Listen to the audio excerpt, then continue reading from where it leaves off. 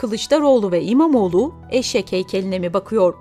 Mert Armağan'ın 21 Nisan 2022 tarihinde resimde kaç eşek var diyerek paylaştığı fotoğraf gerçek mi?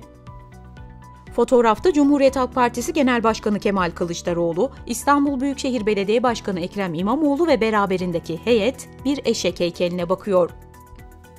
Paylaşımını kısa bir süre sonra silen Armağan daha sonra resimde gördüğünüz eşeği başarılı buluyor musunuz, yapabilmişler mi cümlesiyle yeniden paylaştı.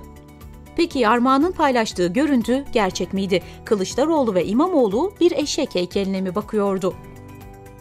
Fotoğrafın orijinalinin Kemal Kılıçdaroğlu'nun 15 Nisan 2022 tarihinde Twitter hesabından İstanbul Büyükşehir Belediyesi'nin devam eden projelerini yerinde inceledim diyerek paylaştığı 4 fotoğraftan birisi olduğu görülüyor.